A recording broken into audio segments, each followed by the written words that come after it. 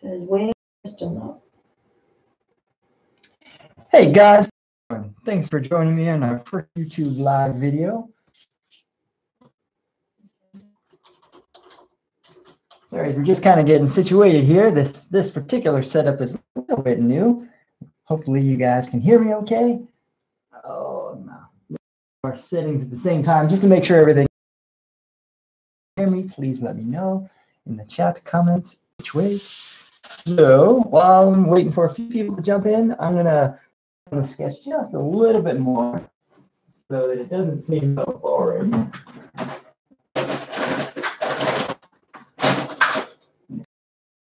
Here, and my lovely assistant Miss Katie here to help with any questions if anybody.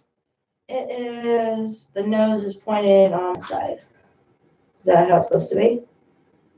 Is that mm. what it is? It pointed? So it's pointed to the left. Yeah. Oh well, that's interesting. My preview looks the exact other way. On the on the computer, it is the exact opposite, and it sort of freaked me out when I was looking at it earlier trying to preview. I was like, man, that is wrong. It is wrong. no, that's it correct on yours, which is good. But uh, literally, if you look over here on the computer, it is completely wrong. So that's actually kind of a relief. Let me know if there's much lag or latency. Um, obviously, I'm watching the live on the computer, so it's going to happen on one side than the other. Oh, and actually, there's some heads there on the table. You want to grab them, plug them in, just make sure that uh, the sound's coming through. Uh, I can go grab mine Yeah, if you'd like. Because it's already connected. Mine are already connected. Oh, that's right. You've got the Bluetooth. Yep, yep. Sorry. All right, that's cool. I'm gonna keep heavying up. Yeah, I'm gonna heavy up this line sketch just a little bit more before I dive into colors, and then I'll kind of break down the materials that I'm gonna use for that. And um, again, if anybody has any questions, feel free to jump in. My phone's making noise at me. So uh, what I'm finishing my uh, sketch here with is a blue Bic pen. This is my favorite thing to draw with. Just like the end result of it, quite a, a little bit smeary and a little bit messy. Wow, the computer looks better than my phone. Well, it ought to, but see, it's backwards. Oh, yeah. Is that annoying? it's like looking at a mirror. it's, yeah. It's wrong. It's all wrong. Oh, it's fine. So once I get some of these line weights plotted out a little bit better, then I will switch over to uh, ink, and we'll get to coloring. I've already picked the materials I'm going to use, uh, just like I do for pretty much any art piece. I'm going to make sure that I've thought enough steps ahead to make sure that I've got the airbrush paints mixed up, and that the colors that I'm going to use I have enough of um, to get all the way through something. Because the last thing you want to do is run out of materials while you're working.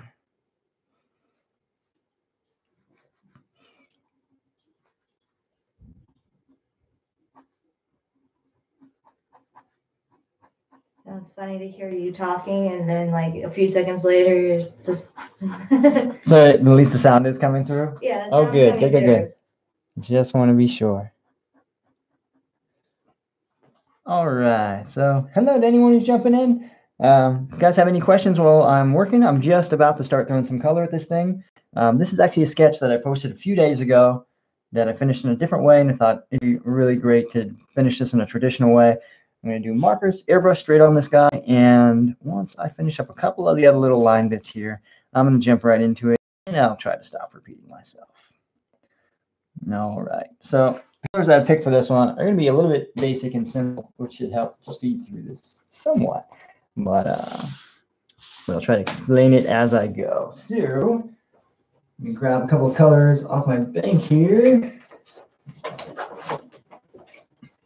All right. So since I already know that I'm going to work in started. And so the way that I render with color, I'm already imagining the direction I want light to go. Um, and since I actually did a pre-rendering of this uh, earlier anyway, it's going to make my life a little bit easier because I've already thought about how I want to put color everywhere.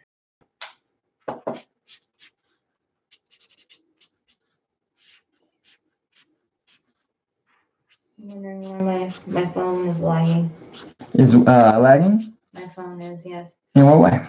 Well, like it'll, it'll be fine, and then I'll pause for a couple seconds, and then. That sort of back. makes sense. Yeah, we're trying to stream HD, so it might just be one of those things. So marker streaks that overlap pretty good so that we can saturate the areas in a single pass rather than trying to make a million passes to, to get an area with a solid color. So being quick with the marker strokes and deliberate and uh, just allowing the paper to saturate really cleanly so that the ink kind of looks like one shape instead of 10 million streaks as it's going along. The way that some of these lines are plotted are going to help describe the um, at the same time.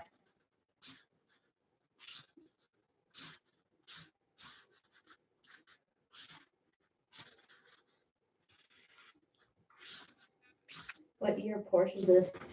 This is an air-cooled Porsche, so it kind of fits a, a wide generational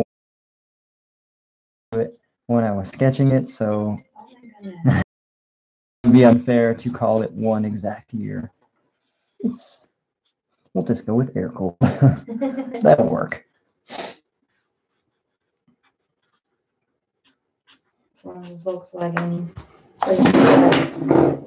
I've been asking about a, a Volkswagen. Yeah.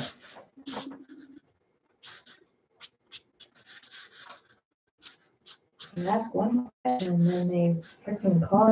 Never leave you alone again. Yeah, it's funny. They just like you. They just want you. They want to sell you a car. Yeah. They really want you to buy a car. Mhm.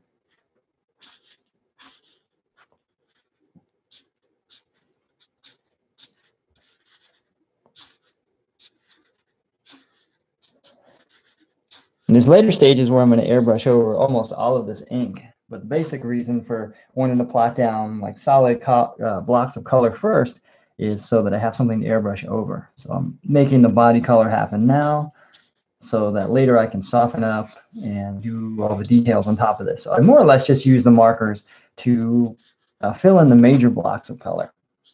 You can do with an airbrush or pencil or any other tool. I just find markers to be a nice, clean way to get there. We have a comment. Roberto mm, uh, Quiroga says, hello, Chris. Thanks for posting and sharing your experience with us. Absolutely, absolutely. I'm going to try to down this process as simply as possible. Thank you for coming along. I apologize if I said your last name wrong. I'm terrible at names. It's all good.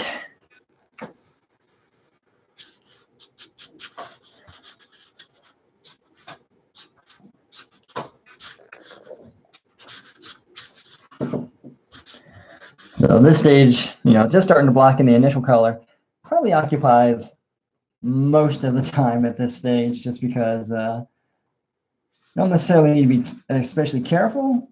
You know, of course I want to stay within my lines here, but allow my space, allow some space to be creative at the same time because there's so much space to, to fix and make changes as I go. Um, so I want to be careful, but not overly, uh, not overly ambitious so I'm not like burying an entire thing in color right away. I need to leave some space because it's ink, it's dye based. I need to leave some space for all the stages that are going to come next. So it'd be really easy just to say, going to color this entire thing in with color, but uh, we need to translate the way that light is going to work at the same time. So, and sometimes I'll do a couple passes over marker. Um, just to kind of re-wet everything or resaturate. But red is a pretty forgiving color in this way, so we don't have to go too crazy because I can airbrush a lot more of the color transition over top of this.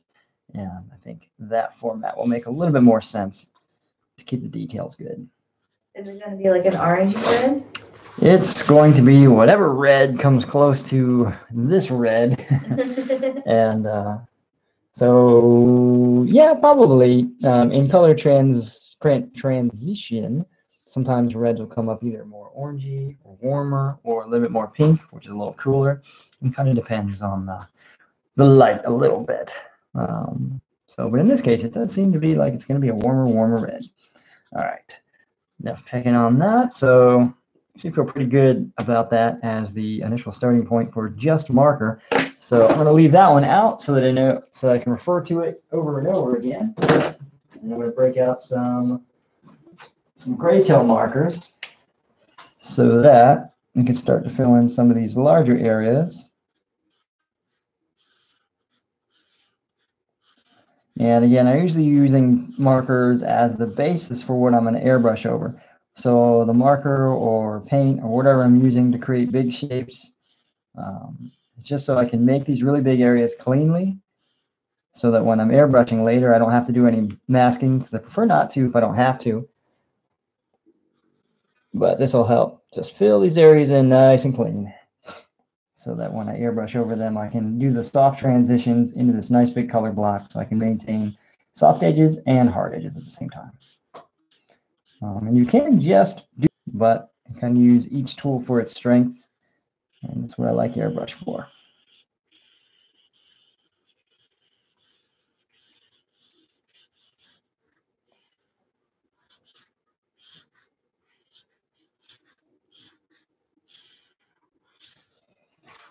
this marker is dying on me just a little bit. switch over to a different one. We always keep extra on hand. Always have to have lots and lots of markers. So, and same with the red, I don't need to go, you know, a lot of these areas will end up having a lot of black in them towards the end, uh, but I don't want to start out with black. I want to be able to transition later with airbrush over top of this ink because once you put black down, it's, you can't take it back. Yeah, and it can get really heavy really, really quick. And while you can detail over it with some white and bring it back up, and, and that will be something that I do as well. It's just a little bit simpler not to overcommit to the really, really dark values right away. There's some shadow areas that I know are going to be black right away, but because I'm going to do airbrushing, it's not important to kill those things right away with so much tone because we want to balance contrast at the same time.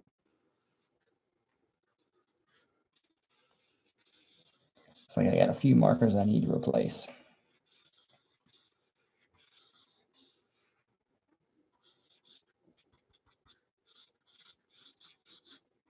You use Copic markers, right? Currently, I'm using Chartpak markers. Chartpak. Yes, but I will use Copics if I if I need to for something, um, you know, specific range of colors or grays that are better in one brand than another. So I'll bounce back and forth around to whatever I need to in order to uh, to get the illustration right. So, switching over to a different gray tone now.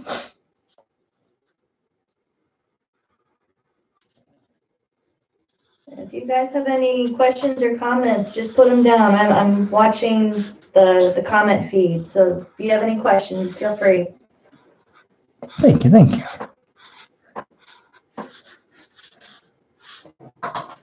So I'm just starting to do is as I'm using a slightly darker grays at a time to just start to make some of these areas a little bit more defined, especially say like the window gaskets already know are going to be dark, but not necessarily black. You know, I might use black later, but as I mentioned before, I would rather be able to build up to the tone than dial back. In some cases, I will want to just dial back, but this is early on, so we don't want to just start plotting in too much high contrast right away because it can make it really hard to balance an image later, especially since we're working on white paper.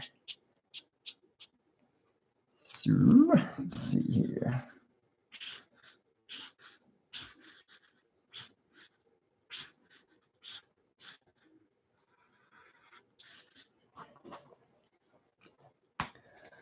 Start to action up the glass a little bit just so that it's not overly boring.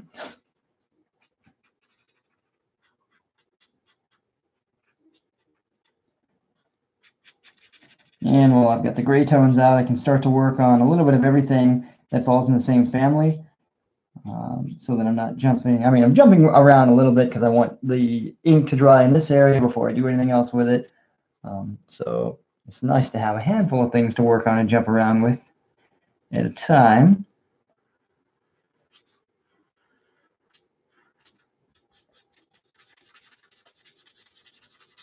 And thankfully it's ink, so I can, uh, you know, I can keep putting my hand everywhere I need to without worrying about picking up anything and making a mess. It's not always true with paintings, but it works really good. in the case of ink. All right, so with where I'm at, I've got some, some really good base tones here, and I'm gonna start to consider how I wanna do, let's say like parts of the rear glass. A lot of this is gonna be airbrushed, but you want to define a little bit of the edge, a lot of it has the Bic pen outline, which will help define the shape later when I'm airbrushing over everything. But also now I'm gonna start to consider what I'm gonna do with the wheels. So in my mind, I already have an idea of how I'm going to do them um, or what I want them to look like. So again, because it's ink, we want to start with the lightest colors and kind of work down from there. And it doesn't uh, it doesn't matter that I'm not staying within the lines. Probably see I'm going pretty far outside the lines here, but um, but it doesn't matter because all this is going to get colored in black or toned with shadow rebelling against the lines. rebelling against the lines. Um, and even these areas and these hoops, I'm going to do all those transitions with an airbrush. I can do it with marker, but it'll make for a better demo if we just do them with airbrush. And well, I've got one of my darker grays out. I'm going to go ahead and just fill in this entire area here because I know that I want the wheel to represent being black or satin black. And in the process of doing so, I'm gonna I'm gonna bury the pen drawing a little bit. That means I'm gonna have to do some really confident guesswork later um, to where the spokes are and things like that. But this is part of why I like drawing in Bic pen because the the line work will still show through even as I'm putting really dark tones in. Now, if I'm just put black over it, it would be really hard to start picking out the details. Not impossible. You just have to be really confident at guessing. Um, and then, of course, I have you know, the original sketch that I can refer to as well for the points where that information would be. But while it's there, I'll go ahead and run over some of these lines with the Bic pen anyways, just to make sure that I don't lose them in the process of making all this stuff. And I don't need to go over every single line. I just need the uh, basic spoke pattern so that that doesn't get lost. Everything that's in between, I'm familiar with enough to do from memory, so I don't worry about too, too much. So just kind of resketch those in a little bit pen. And part of why I like pen as well, because doing this with uh, with pencil, going over with ink, it'll just smear, it'll get all over the place. And that can get hard to bring back and keep looking clean. Also just has this really nice technical look to it that I like. All right, and again, because I'm going to end up doing the wheels dark, uh, either a dark gray or more of a black, and so much of the detail will be lost. The detail that'll make it look right will be in how the highlights are done. So, so I'm probably in the shadow area. It's going to be a little bit because it looks like some of my markers are a little unhappy with me right now. Well, win some, lose some. So actually, the next thing I'm going to do is a pink marker. A pink one? Pink marker. So um, even though I wouldn't always do it this way, since we're here, because these are areas that I want to have spots of color as well, which I'd be able to do with an airbrush, but it'd be a little bit more predictable at this stage with marker.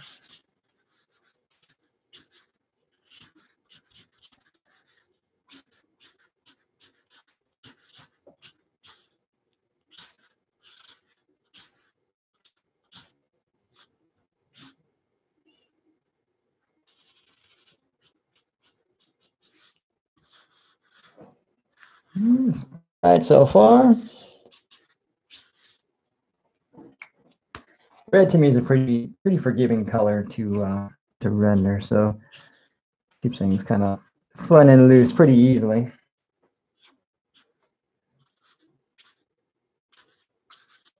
All right, so now what I'll do is the ground shadow area to start to bring some shape into that.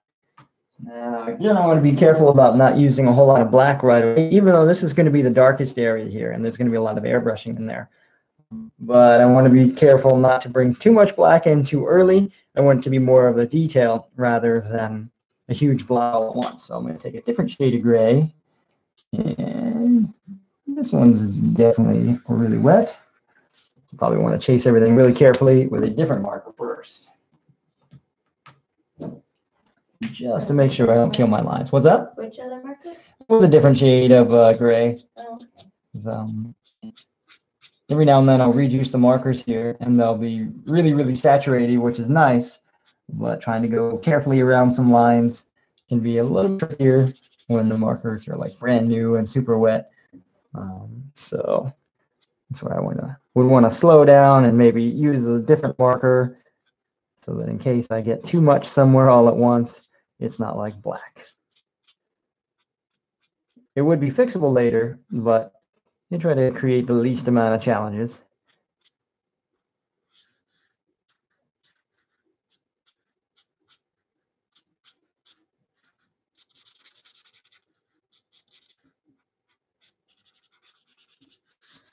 All right.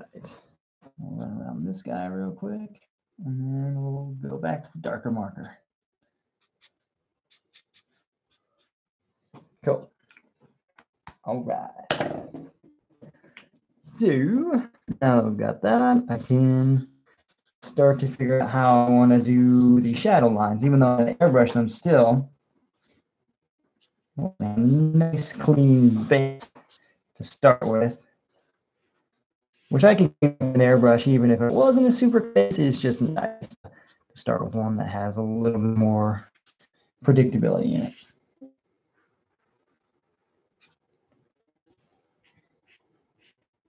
When using marker, it's important to take into account the direction of the marker strokes so that everything kind of seems a little bit more unified and a little bit less haphazard.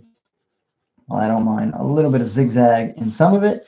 It's fine as long as it's part of the character we're drawing, but if it looks accidental, then it looks kind of amateur. So I try, try to be careful about stuff like that. And now I can take that darker gray and start to transition into the gray that I put down earlier.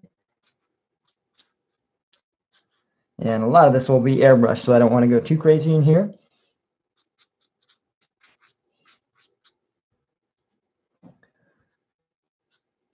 I just want to get the values in this gray a little bit darker before I switch back over to the other gray and bring it around a little bit more. A lot of this type of stuff is very, very push-pull. But, uh, but ink has its limit of forgiveness, so we can't just keep pushing and pulling forever. Eventually, eventually we'll have too much and we'll have to correct in a different way, but that's all right. All right, so now I'm going to switch to a different gray to blend these just a little bit. I'm not going to get really crazy with blending the area because I'm going to airbrush over it a lot. Let's see if I can find a better, better middle tone here. All right, so I realize these look nothing like each other, in the family of grays here, but we're going to transition from one to the other. So, so we don't want to take a dark marker and try to lightly streak it down. We want to go the other way. We want to take a light marker and try to streak it up.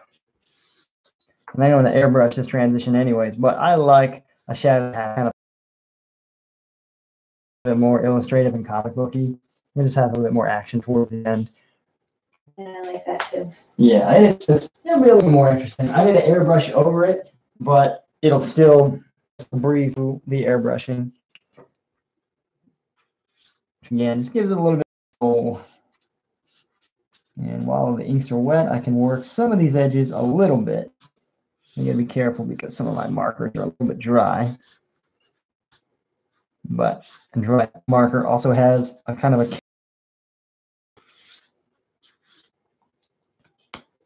All right, so while that's doing its thing, you know, the ink is drying and it's also blending together at the same time.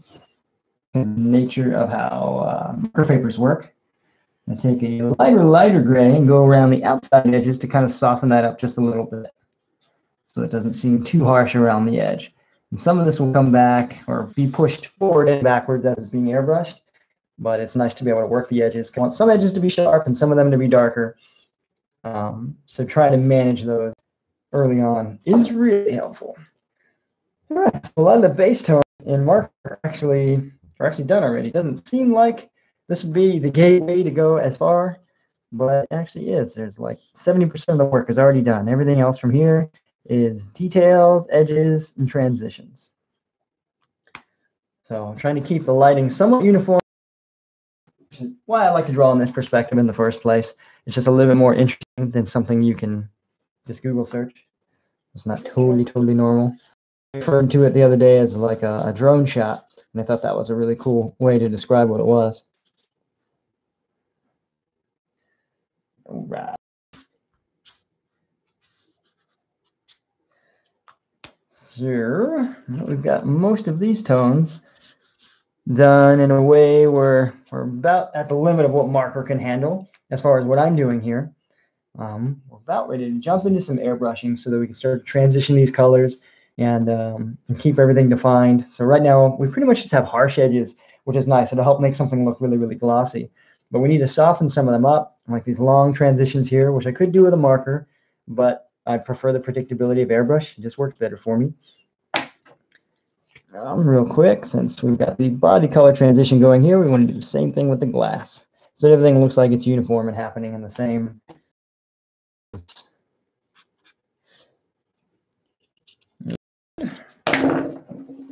A bunch of markers set out and jumping back and forth in between, but you know, as something's coming together, looking at the uh, the color transitions, the bars of contrast, and uh, just trying to make them look uniform. So that. All right, so for where we are, I think we're ready to switch over, almost ready to switch over to the airbrush. Is airbrush time yet? It is almost airbrush time. There's just a couple little areas in here that I want to hit really quick with some light gray, just to add a little bit of value in there. Because even though some of these areas I'm going to come back in detail with white, it's nice to start with uh, with a little bit of gray so that the white pops a little bit more in the end. Just kind of looking over the shapes of stuff that I got and figure out what I would want to clean up.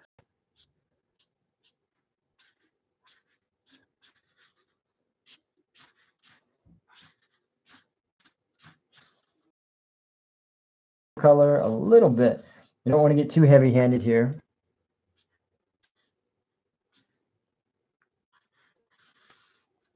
Yep. So, and at this point, since I'm getting ready to jump into airbrushing, I want to make sure I have as much of, if not all of the marker artwork, marker part of the artwork done, because it'll get really hard to add marker from here once the airbrushing is on. Not impossible, but prefer to keep the stages split up enough so that one doesn't interfere with the other. Because at that point, marker was then it will just on the paper, and it can be it can be an advantage if you plan if you plan for it. So the only other thing that I would do while I'm here, was just looking at everything going, wait, there's something else. I was going to add some some mid value on the red in a marker that's somewhere else. There we go. in a basic gray. Somewhere. Yeah. So this is just a what's considered a what uh, Chartpak anyway. It's called a basic gray. It's actually more like purple, and because it's just a gray going over top of the main color, it's essentially tinting the color darker without simply adding red. Because if you just keep going over it with red, you can oversaturate the paper, and eventually the colors will look dull anyway. Adding some gray over top of the red, but at core high saturation anyways. Your highest saturation is going to be your transition areas. Anyways, so I can take just this gray over top of the existing red that I already have and start to make some shape just out of that by itself. And I could do the same thing with an airbrush, and I will, but it's nice to sort of plot some of this with marker, because again, the marker is going to create the hard shapes, and the uh, airbrush is going to create the soft shapes, at least in the way that I work.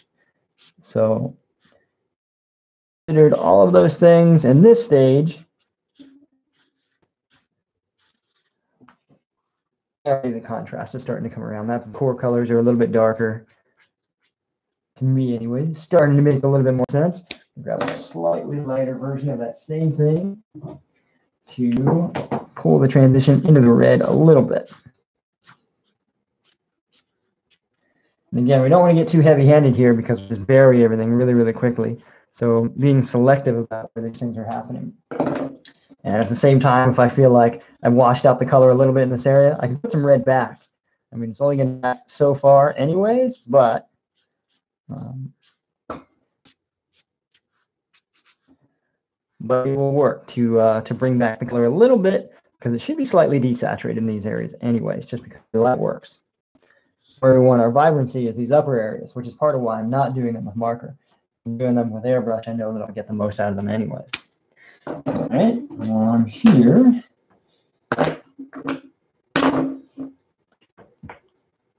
Go ahead and hit this with a little bit of tone so that when I airbrush over it, it's still there. I don't want to lose it or get buried in the process of doing any of this. Yes, yes. Mm. So I've already uh, already pre-mixed colors. Look at the Createx paints today. So always keep an extra page on hand so that I can test the airbrush while I'm working so that I don't get surprised by it. Surprises are cool, but not when you're doing artwork, not really. We don't want those kind of surprises. Because then it's ruined and then we're for nothing. Sure. And there's there's a fix and a workaround for everything. I've run into so many mistakes that I've made personally. So, but um, but the less mistakes you're fixing on the back end, you know, the nicer it is. So just testing the airbrush. It probably needs to be cleaned a little bit, but it's gonna work for what we're doing. I need a new airbrush. I can just tell. There's a decade on this one and it's just not happy like it used to be. But for big transition areas like this, it's going to work fine. Um, if I was to do more detailed work, I would probably want to just go and buy another airbrush. So, but I've tested the airbrush. I know that I'm not getting any blood in the airbrush. transitions are already cleaning up. There we're starting to make more sense. So, put this guy aside. And it's a it's inherently it's a really thin paper, so it's delicate. So you can oversaturate it and warp it, and as a finished piece of work, it doesn't it's not super attractive. There's workarounds, but the best workaround is to not get overly aggressive right off the bat. Just allow the material to build up slowly the way that it needs to. Just be patient. And also make working without a mask in the way that I am a lot easier too predictability and taking your time. There's certain areas where it's important to be fast and work, you know, just more quickly, but not right at this stage. You want to be deliberate and patient at the same time. So, and obviously I'm not taking color all the way up to the edge. I want a little bit of fog in the edge for the stages that I'll share after the airbrushing is done. And obviously you can tell I started with the body color first and not black because I transition some of the other areas over top of the red. So I want to get the red sorted first. So not totally sure that I'll show up on camera, but the upper area, at least the more I'm looking at it, much more um, much more pink, less less warm and more more magenta versus being like a red or sorry, an orangey red. It's because the upper areas normally will just have a, a brighter saturation and be slightly cooler because the upper ones are usually reflecting the sky.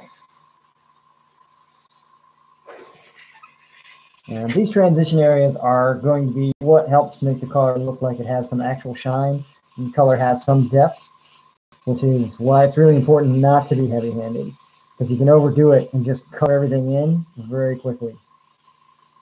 And even though I'm working without a mask, I'm still, you know, hopefully using experience to get, know when to stop, when to pull back, and when to just not overdo it. So I want to put things down, let it dry, and kind of evaluate as I go so that I don't overdo it all at once.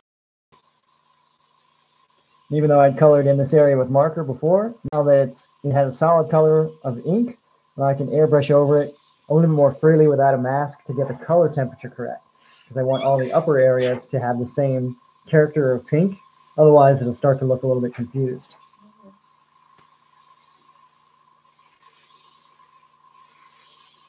And a lot of times I'll use this opportunity to go over as much of the body color anyways as possible, just to kind of get the saturation up.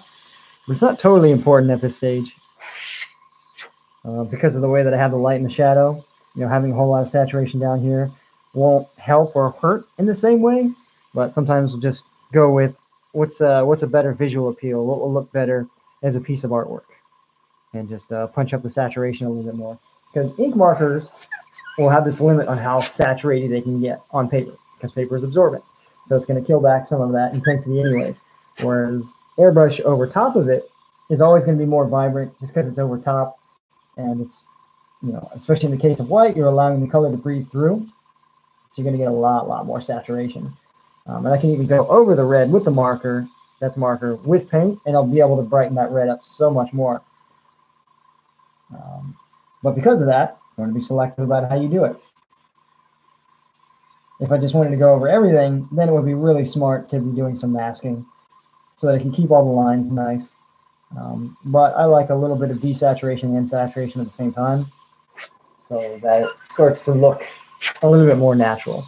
It'll still be bright and comic booky, but still has some basis in reality.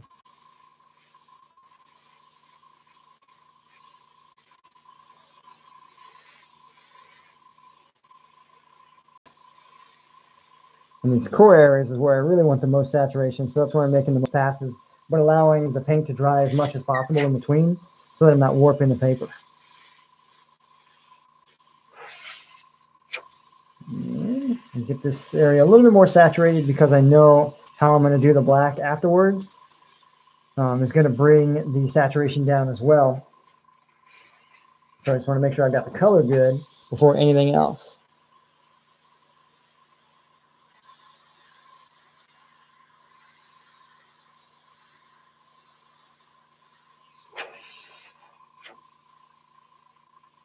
Coming out really good. What's that? It's coming out really good. Thank you. I don't know what it's looking like on your screen, but I'm looking at it on paper. It looks totally different than my computer monitor over here. My computer monitor looks very orange. Maybe I was asking, like, is it like an orangey? there's parts of it that are orangey red, but probably not as much as it apparently looks like. So I'm gonna try to. I'm gonna be careful on these long transition areas because I'm not doing any masking. I'm gonna get close to the area where the core light's gonna be, specifically for the next part of the process where I'm gonna remove some of the paint. Uh, but because I'm not masking, I have to be extra careful during around headlights and the open areas. Um, I could mask this, and that might be a good thing to do in a different demo video to kind of show what that's like. I'm simply not doing it for the sake of demonstration. Oftentimes I don't mask because I like the natural look of airbrush overspray around everything. It helps to soften up the look a little bit. To me, looks a little bit more natural. But if I'm doing something that I want to be extra, extra sharp, I will absolutely mask around everything. But um, but it's also very time consuming. So I only do it if I feel like it benefits the end result by a lot. So, and I'm uh, airbrushing red, and because I have it thinned down and I'm working very lightly, it's coming up as a highly saturated pink because it's going over white and it's thinned out a lot. So that is the end result is pink. So I didn't mix pink. It's literally this very transparent red. All right, so actually I'm to come in here a little bit more on the roof so that I can pull some of it out, which will make sense, hopefully, in a second here. Yeah, come in a little bit harder over here. All right, it's looking good so far. Actually, the color depth looks really good, and I'm really digging the shadow. It's going to get airbrushed over to, to clean it up, but as like an illustrative dynamic, it looks really cool. So the next thing I'm going to do is grab an eraser, if I can find one. Surely there's an eraser around here somewhere. I have a rainbow eraser. That might be a little bit too big. Um, the erasers are actually on the other side of the room, so I have to make do. Hang on one second. Is it near me? No. Oh, no. No, yes. All the way on the other side of this thing. Oh my goodness. Yep. Okay. So, well, I've got the airbrushed areas where I went up to the line pretty carefully. The next thing I'm going to do is take um, an eraser and clean up that edge a little bit. If I'm really careful about overspray in the way that I was here, I allowed a lot, a lot of open area. I can actually take a, an eraser and pull out almost all the overspray. This stage where I'm using the eraser for is to maybe pull off some of this pink in the glass because I'm going to come over with a different tone here. Um, and I'm not going to get really, really carried away. I just want to make the edge look a little bit more deliberate. So kind of taking the soft nature of the airbrush tool and firming up the edges of the look a little bit. I can run on the outside of the body here where there's a little bit of pink overspray and start to clean that up. But honestly, there wasn't that much because of the way that I airbrushed it, everything was pretty light and fluffy. And I like to leave a little bit of that overspray, like I mentioned, because I just, I like the look of something. It just looks a little bit more natural to me, even though I have this really heavy pen outline. So same thing, taking an eraser and cleaning this area here. The way light color works on say glossy surfaces is our highlight is oftentimes going to be right next to the darkest part of the light. So where the core color is, is going to be neighbors to where the brightest part is. And that's part of what gives us the glossy look. Right where it's dark, right next to that is right where it's light. Kind of this light bar look. And if I wanted to be even more careful, because I'm using a firm eraser at this point, you can take a kneaded eraser and pull back a little bit more softly. So if I wanted to make this into what seemed like a white airbrushed edge, I can just take a kneaded eraser and very carefully pull it back. So go from the hard edge to the soft edge a little bit more. And it's Createx's that really allow that to happen. You could do it with acrylics, but the vibrancy of these paints, they work so nicely in the airbrush because they're designed for it. And then on top of that, the reversibility, the able ability to erase some of these um, things, which is called subtractive highlighting, is part of what the is designed into the paints, which is part of why I like them so much. Because I like this part. I like to be able to erase some of the paint as I'm going. Um, I'm not able to do this like when I'm working on canvas, but in illustration, which is to be considered way more traditional illustration rendering, it's possible. So it's nice to have as a uh, as an ability to use. And I really didn't have to do too much here. On a lot of these illustrations, if I'm rendering in black something, there'll be a lot more blue or black overspray coming out towards the edges. But because the direction is so harsh on this one, some of the way the outside stuff looks, I like. So I'm not going to spend too much time um, subtracting anything, uh, anything else past this. But also, if anybody's curious about the uh, the Createx illustration paints, so I'm just using the red and reducing it and putting some medium in it. And that's what I shot over this. This is just marker paper and shot straight over the ink. And now I'm just saying, uh, erasing out a little bit of the paint that I don't want to kind of start to create our high highlights, which I'll still go over later with paint, but it's nice to kind of do everything in this soft transitional way. So I might pull out a little bit from this area here. And again, since I'm using a, a soft kneaded eraser, I'm going to end up with a soft edge with a transition instead of making like a solid white line that goes across. So next what I want to do is clean out the red from the airbrush, I think. And then uh, actually, I need a little bit of red in here. So let me do that real quick. Switch back over to here.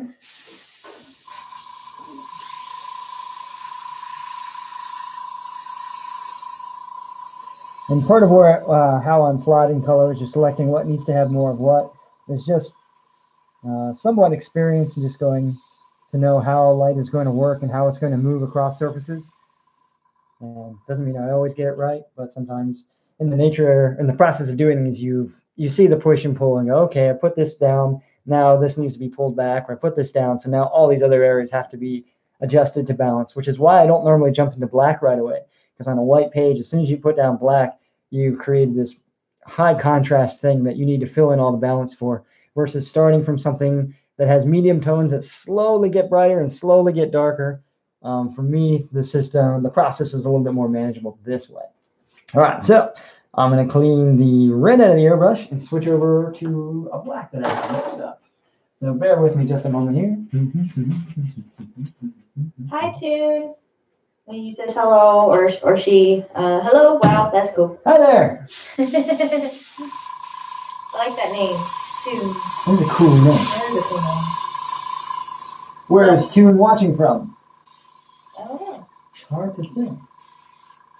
Or Robert, where are you from? Or Roberto, sorry.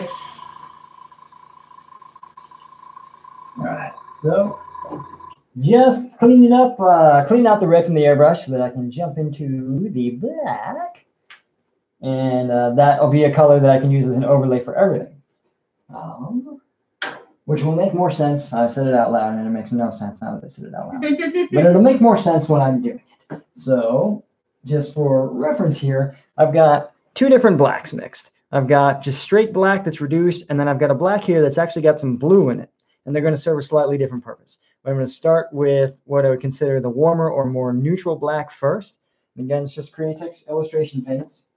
Um, shadows and light operate in both warm and cool. So depending on the surface you're rendering, one will be warmer and one will be cooler. It's just looks a little more natural that way. You can kind of ballpark it and land in the middle somewhere. Um, but I like the variation. It helps things look a certain way. Like good, bad, or indifferent. So just making sure that I'm no longer shooting red through the airbrush. A quick little test, of course, on a scrap piece of paper. Yeah, sometimes in demos, I'll, I'll like mark up this entire corner with markers and airbrush. And then later someone's like, how much for that drawing? That I've ruined in the process of demoing, but what? Whoops. Whatever I just dropped. Hopefully it didn't go too far. Oh, there it is. Hang You got it. You got it. Okay. Good, good, good. The airbrush cap. All right, so this being the warmer black, what I'm going to start with is going over some of the gray tones to start to bring those down a bit. And this is where I'm going to start to balance the contrast of everything. And some of these will end up with the blue black over it as well, or I'll just shoot a little bit more blue over it. But I just want to start to just want to start to balance the image a little bit. And actually, from this example, I feel like I did a pretty good job with the red in a core way. So I don't need to go too crazy with it. I want a little bit because I don't want any of the image to feel disjointed. Or like I put some attention in some area and not in the others. So run the bottom edge there and just start to run over the shadow. I want to be careful at this point and go around the wheels a little bit.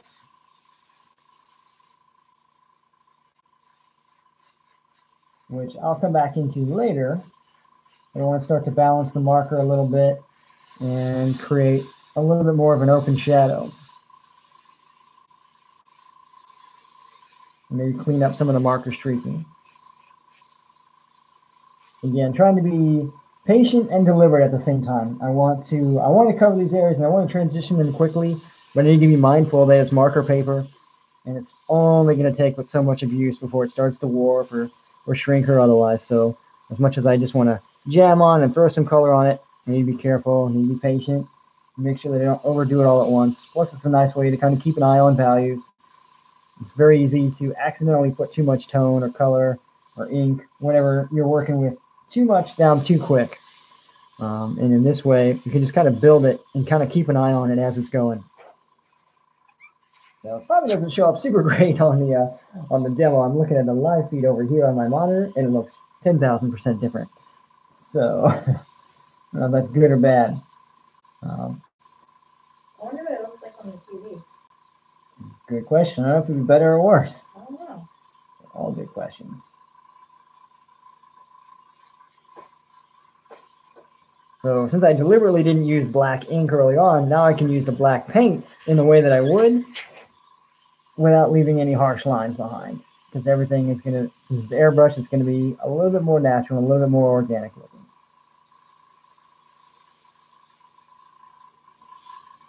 So of course I want to hit some of these under areas that are out of light, which I'll probably highlight later anyways. Just go over this body area a little bit. I want a little bit of saturation in there just for the sake of fun. Um, again, just don't want to get too heavy-handed at this stage because it, it can start to look unnatural. I'm going to bend some of the rules for lighting, but not all of them. Um, actually, that's pretty not bad for right where that's at. Go a little bit heavier in the core area there. You know, almost all shadows have some transition to them. There's going to be the darkest, darkest area, and they're slowly going to bring out to something. Obviously, an airbrush transition will be a lot cleaner than this, uh, than these marker streaks, but I like the marker streaks in a composition like this because then the way that I've done the color reflections that have some of these broken zigzag lines, the way that I've done the glass, they all feel relative to each other um, as opposed to being disjointed, which sometimes illustrations can be. So I still got the warm black. I'm going to go over this grill area real quick and just kind of tone it down. So now that I've worked these darker areas to where I think I want them to be, I want to make sure that I'm going over the other marker areas and at least getting the tone or the value in the same ballpark so that they didn't they don't stand out like I did them in a different way.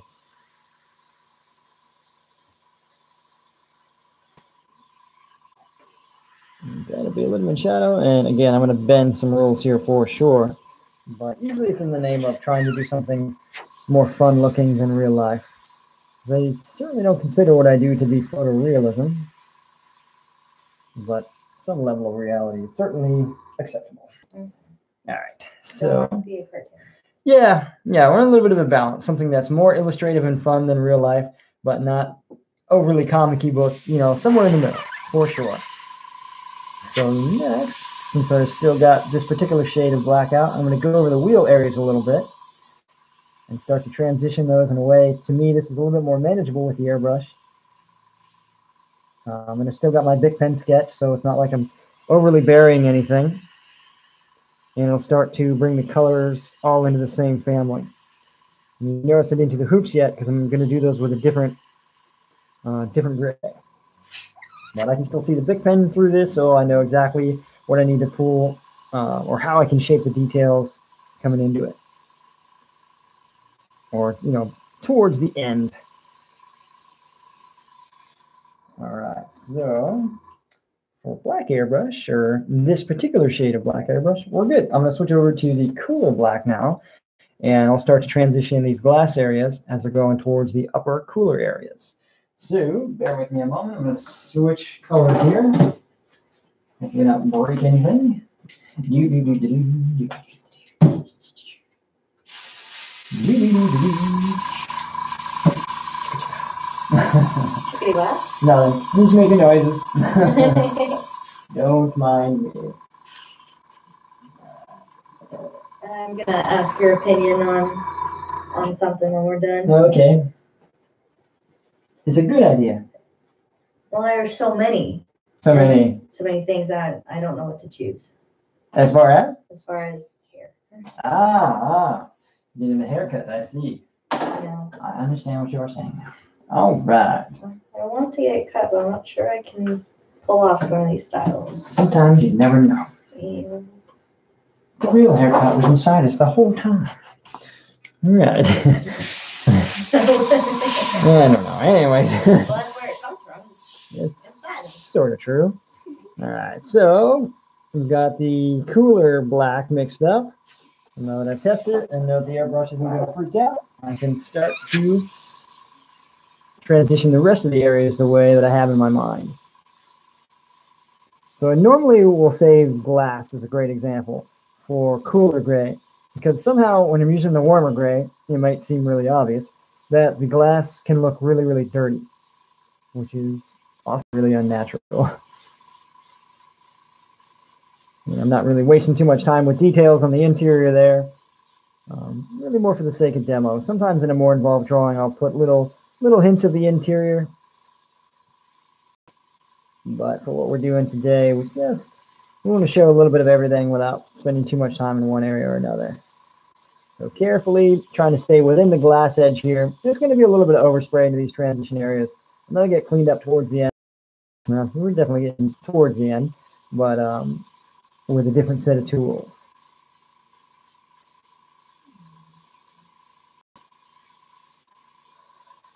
All right, so we got some some clean transition going in there. Do the same thing on the black glass, the back glass.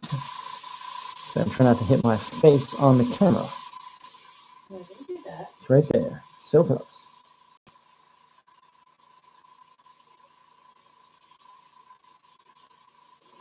Just trying to be mindful of putting small amounts of paint down so I'm not warping the paint. And of course, being cautious of the edges. I don't want I just don't want to throw paint down everywhere because then I'll have a lot more cleanup to do at the end. And with the least amount of cleanup to do at the end, always be some. I just don't want to make my I don't want to have to work any harder for the end result.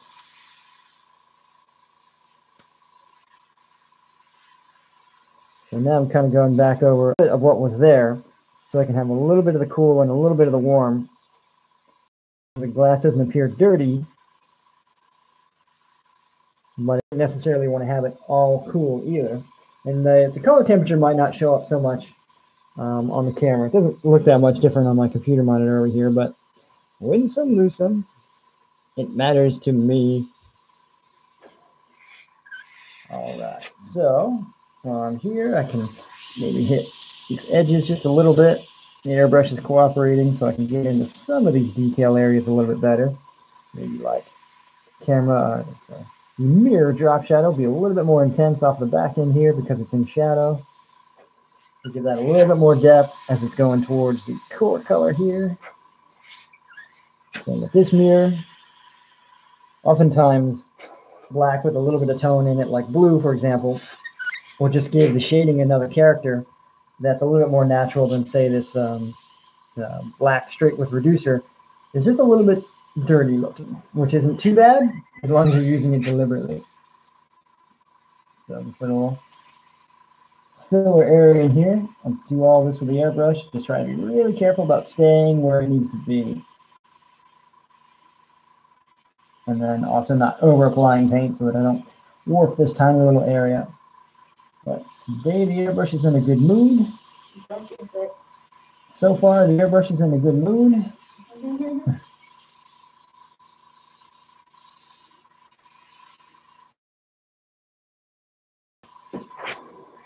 Some things are starting to look more balanced, but now we need to, you know, the stage is coming up, we'll have to balance the cleanliness of the edges, which is where things start to get really crisp again, which is nice. Is very nice. So hit the inside of the um, headlights just a little bit. There'll be a little bit more paint detail in them to bring them back up. But again, at this stage, I want to make sure that I've got the color temperatures, which might not be showing up on camera. I want those to be a little bit more, um, feel like they're all from the same family. And because I have these really, really dark marker areas here, I can, I don't want to say be careless, but the overspray is going in these capture areas where it's negligent. I don't really have to worry about you know, dark airbrush paint going into a dark area. It's fine.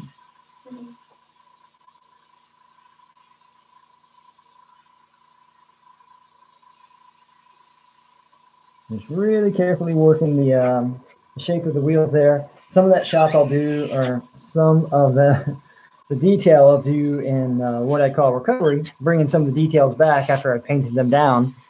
But that's just all part of the fun, especially when I'm not doing any masking. If I was masking these, everything would look a lot sharper and a lot more deliberate in a single pass. But for the sake of demo, we want to keep things moving along here. We'll do that another time. Just excited that my airbrush isn't mad at me today.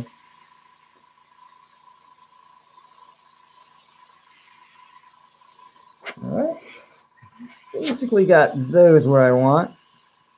As far as the tone and the values, everything is starting to look really balanced from here, which is nice. At least for the stage where I'm at.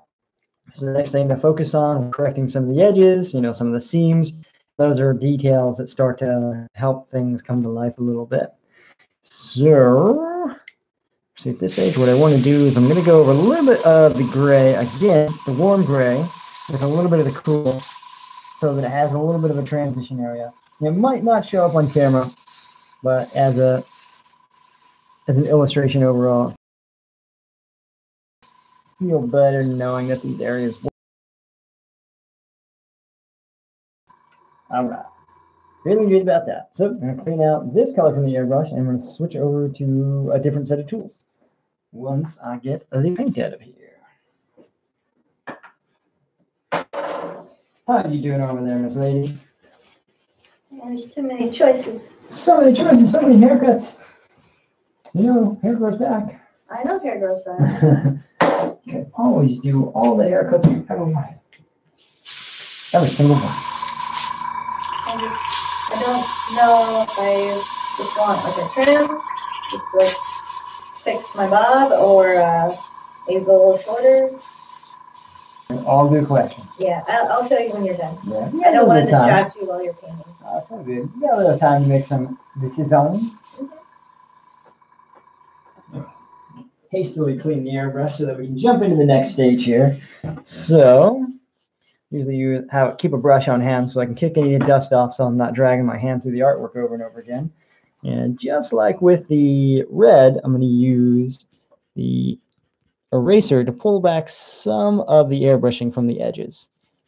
Again, not totally sure how much of this is even going to show up in camera, but you know, I'm treating this just like I would do it for me, versus if I was doing it for a demo.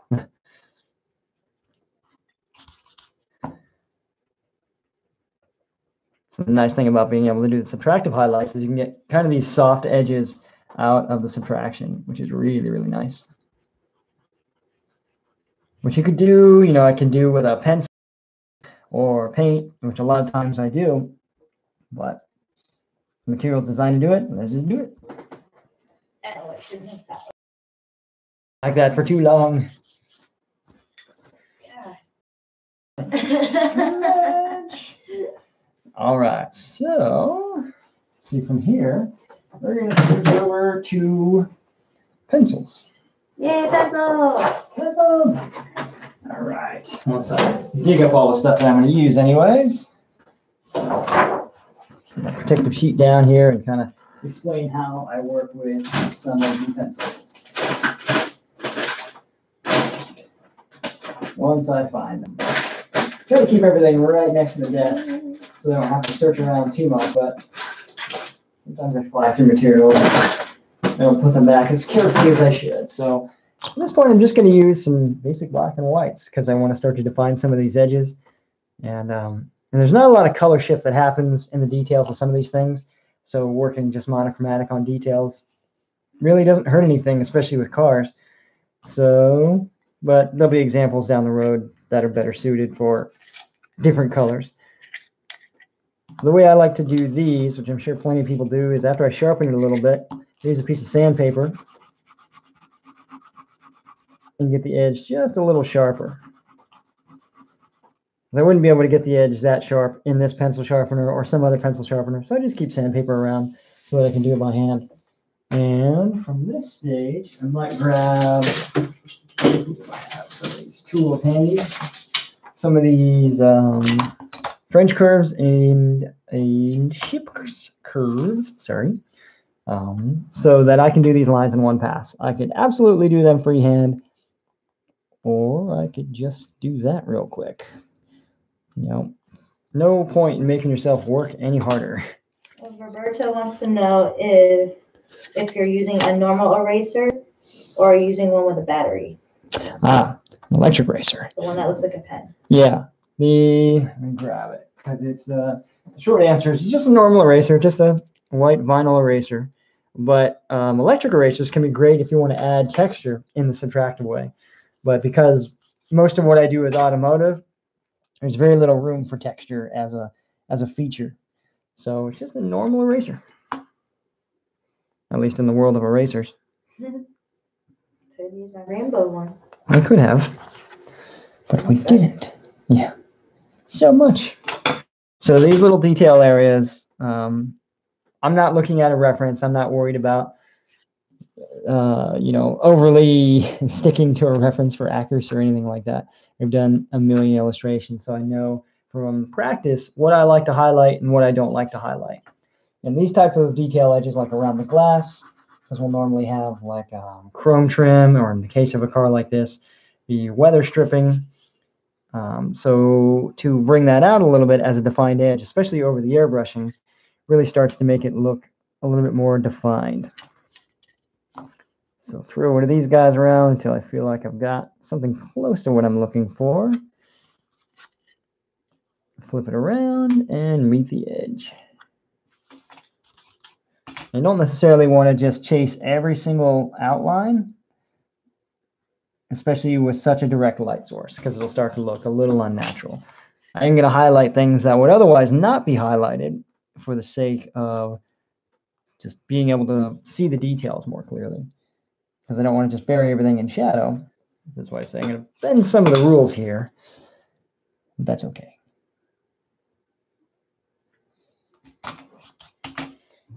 Just going back and forth with the sandpaper to keep it sharp. And I'm just gonna keep running around some of these edges to bring them up.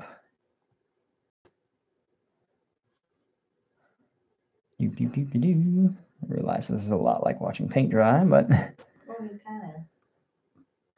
Paint is dry. paint is drying.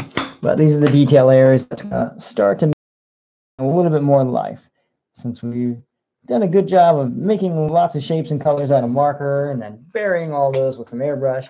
Now we need to start to bring the details back. And I don't want to overdo it, especially, you know, in an area like this that's in shadow. I want to be able to see the edges of some of these things, which again, if I was masking, a lot of that stuff would just naturally stay clean and sharp. But sometimes it can look a little bit unnatural.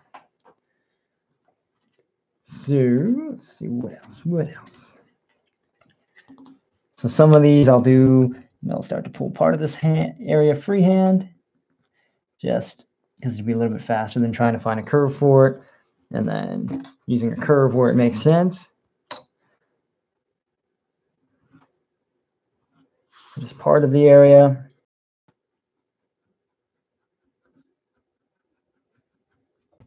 At this point, I'm going to grab a little bit of black and start to correct the area a little bit. You know, this is the caveat of working freehand. Sometimes things are going to be spot on and sometimes they're not. But I think things can look a little bit more natural if they're mixed with some freehand.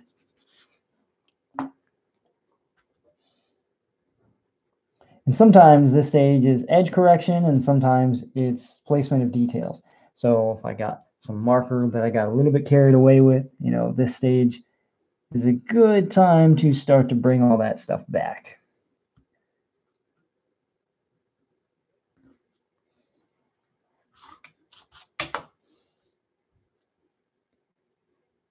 Exactly. Hmm. All right, so there actually isn't a ton of line detail on this, which is good. It's actually a, in 911s are a pretty simplistic car. And I know which details I'm going to want to do in paint once all this is wrapped up. And I know which ones I'm going to want to do. And Roberto is from Portugal. Oh, nice. So he's been a fan of yours for a long time, and he actually started illustrating and kind of copycatting you on your art. Nice. Well, that's really cool. I'm excited that you came by. There's plenty of artists that I've been influenced by, so I get it. That's how you learn and what's your style, and you, you take it from someone that that you really admire, and you try and, and do your best to do the same as them. and- I think so. Get your own Yeah, thing. there's so many artists that I've enjoyed um, while I've been on my own journey, and still many, many artists I look up to. Thank you, Roberto. Yes, thank you. And thank you for coming by. Now, While I'm here, I've got a little bit of marker that's slightly out of perspective for what I have in mind as the end result. So I'm just gonna hit that with a little bit of pencil to clean it up. I'll be able to clean it up a little bit more with some paint towards the end. But again, kind of like the difference with marker and airbrush, marker being the hard shape tool and airbrush being the soft shape tool. I'll use the pencil for some of the softer cleaning up. And then at the very, very end, which is right after this, I'll use the paint and a brush to do the hard lines and final details. And trying to meter each stage a little bit as well. I don't want to overdo any one area more than another. Like everything that I'm going to do in pencil, if I just go over it again with paint, I might as well have just done it in paint. Um, so try not to waste any time in an area that doesn't need to be or a stage that's going to be done later in a different way or whatever that is.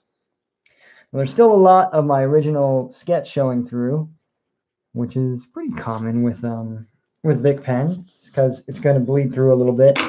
But one of the reasons I like Bic pen, I specifically sketch in blue, because somehow it looks a little bit more natural in the end versus black. If I did heavy outlines in black to start with, things can kind of take a comic booky look right away. Just because that's what comic book illustration is about. Really careful line work and heavy use of black. And I want some of that, but I don't want all of it. which is where I think the blue looks a little bit more natural.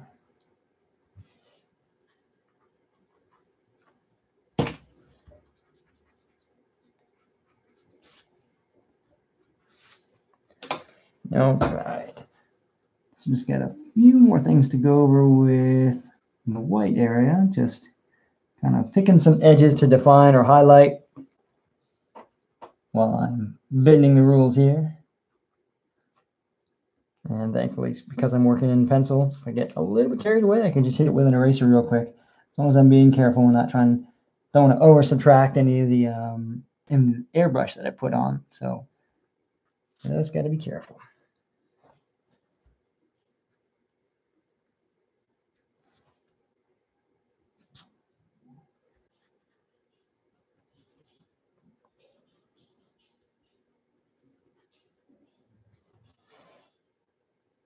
Sounds like the dogs are getting concerned out there.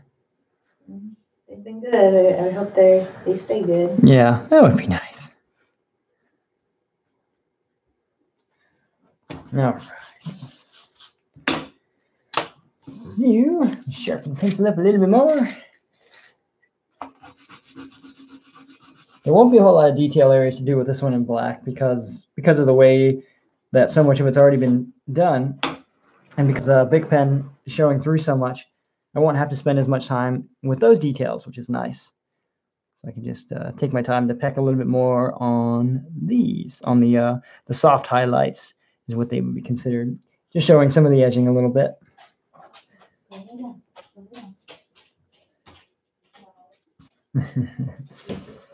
and at this point, I can start to work the area where I know I'm going to do a highlight in the glass. I can start with pencil so that it has some some softness on the outside edge, which I can do with paint because I'm going to use a gouache or an acrylic and I can soften the edge. But being able to start with pencil gives me a little bit more predictability at the start. Um, and I often, you know, I'm not, I'm making up the lighting source as I go. And as I've said a few times, bending some rules.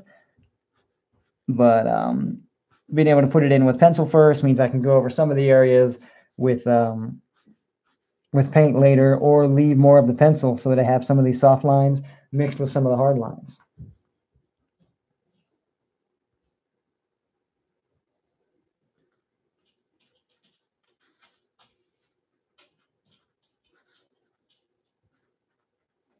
Just a bit of practice and experiences help me figure out what I can get away with. While not always true, you know, sometimes works.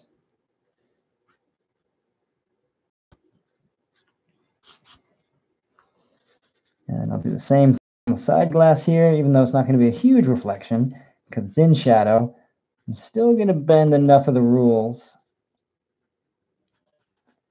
to create some contrast and to split up the uh, the marker and the airbrush that I have going on. And I want all these lighting rules, even the ones that I'm breaking, to follow the same contour. So this highlight I'm going to want to run all the way through as much as possible. Yay!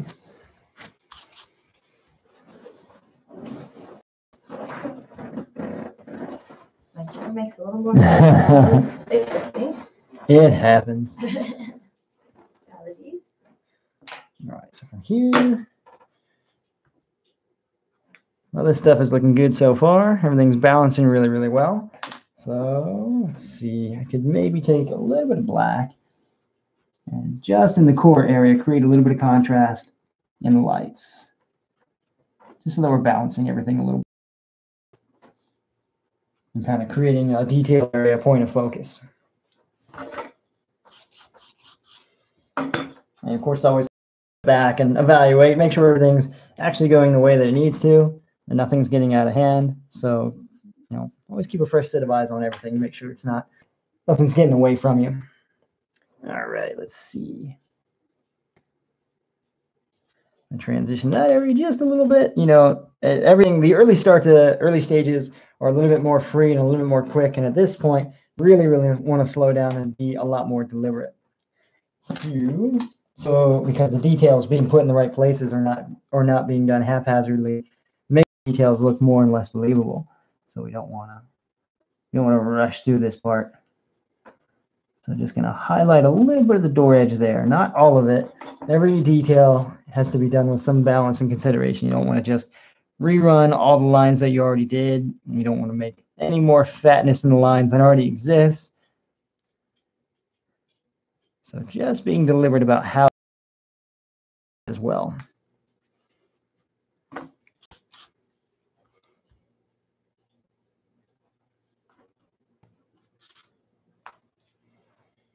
So let's see this little area here. I want a little bit of highlight. I don't want a ton. And it's a line that I definitely only want to have to pull one time. So I'm going to grab a, a curve to hit it just a little bit. Because it's a detail that will show just enough definition to start to make things look a little bit more realistic. Which I don't want to overdo, but I don't want to neglect either. Right, so with where I'm at, let's see. Switching back and forth between some pencils. Clean up some of these marker edges or, you know, in the even smaller white pencil to define just some of these upper details a little bit better. And let's see. So, and then just kind of step back and start to evaluate. What's that? That's Lucy at the bar. What'd she do? I'm making velociraptor noises. Biggest brother. She's just so sad. And she misses you. The dog sigh. So sad. And she knows we're talking. Does not know. Does she not know? She knows not.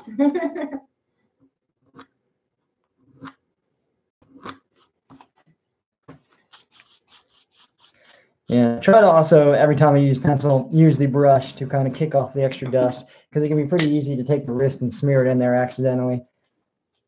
Yeah, we don't want that. No, we don't. The least amount of that as possible. So while I'm here, I'm going to edge in a little bit of the headlight bezels. I did in a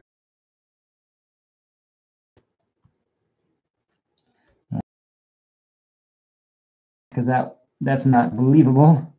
Then it just looks like I'm outlining stuff. I want to be deliberate about what I'm picking as a detail um, and transitioning the edges so that it doesn't look like I'm just outlining every single little thing. If I was doing something that was going to be a little more comic booky, I would outline everything deliberately. But in this setting, I want to be careful about balancing my idea of looking illustrative and a little bit of realism for the sake of what a rendering would be. Not going too far in either direction.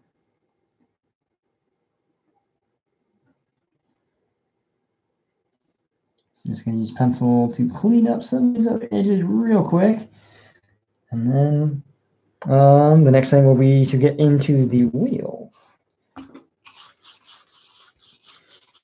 And we're actually not too far from wrapping this one.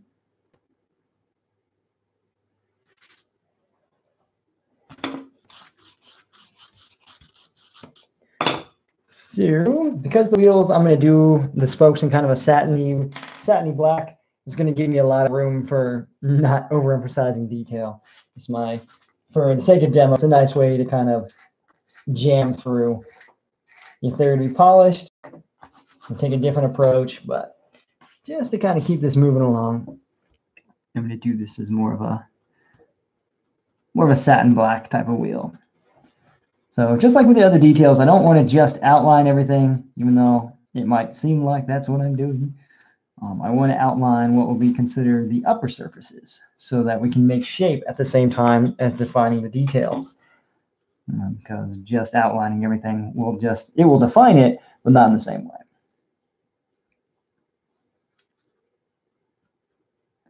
And in the case of like a satin black wheel or something like that, there's there's very little detail. The detail is in the highlight, which is why I wasn't really concerned about overdoing airbrushing or marker over top of this uh, over top of the wheel outlines because I just know from experience that the way to make these believable will be in the way that the highlights are done, not in the way that the color is done.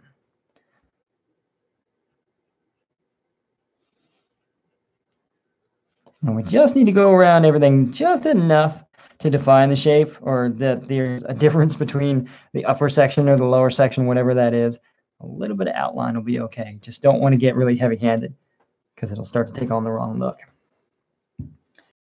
Fly detail, I guess is the, is the best way to put that without getting too, too carried away.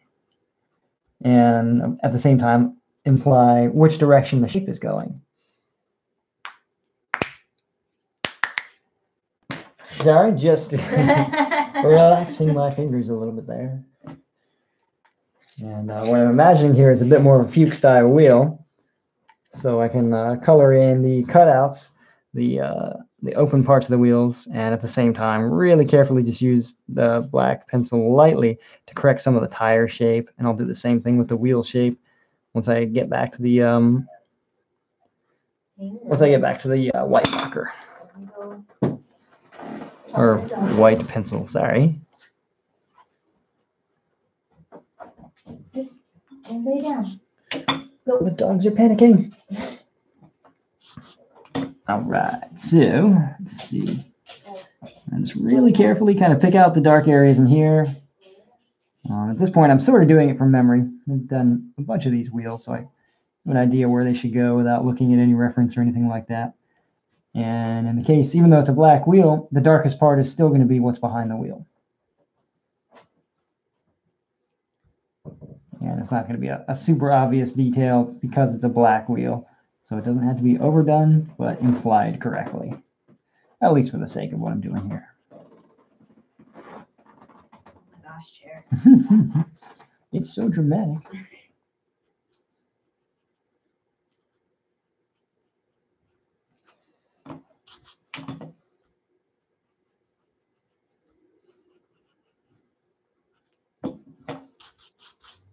Cool, cool. All right, so that's pretty much where I need that to be. I mean, I can, can highlight a little bit of the window area. It's not totally necessary, and it can start to become a little over detailed, but a little bit's fine. Just so that we can imply imply that something is there. But that's why I like to keep the pencil sharp with the sandpaper so that I can work the little details without accidentally over fattening them up. So do the same thing on the back. Just kind of hit the cutout areas, which are pretty well buried because of the perspective of the wheel anyways.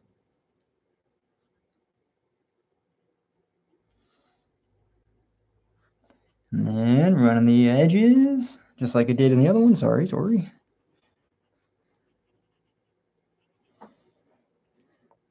There really isn't a whole lot to emphasize with shape in this one because the perspective really buries the wheel a bit and um, it's a black wheel with black cutouts. So there isn't a whole lot to it. I'm illustrating stuff like this. I'm looking for what I can simplify, what I can leave out. Um, and something I see oftentimes is just stuff that's detailed to death. And I don't always think that that looks good. Sometimes it works, but it's not always a compliment for the art to have just to be overly busy without like a rhyme or reason.